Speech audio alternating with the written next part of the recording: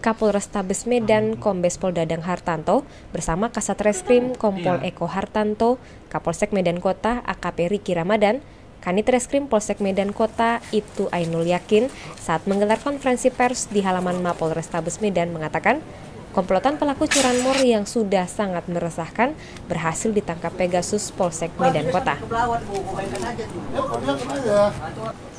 Komplotan ini berjumlah 8 orang. Tiga pelaku lagi masih masuk dalam daftar pencarian orang.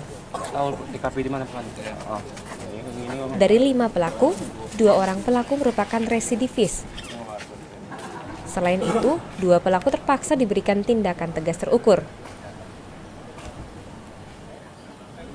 Selain tersangka, petugas juga mengamankan lima unit sepeda motor dan beberapa alat yang digunakan saat melakukan aksi pencurian sepeda motor ini merupakan uh, jaringan yang sudah lama yang kita sudah targetkan. Ya, kronologisnya adalah uh, di perumahan Puri Bahagia ya, pukul 06.00 pelaku masuk ya, si Musang nih alias Dede ambil kendaraan bermotor dengan menggunakan yang tertib kemudian ambil kendaraan bermotornya beberapa uh, kejadian demikian di beberapa tempat dengan modus yang sama.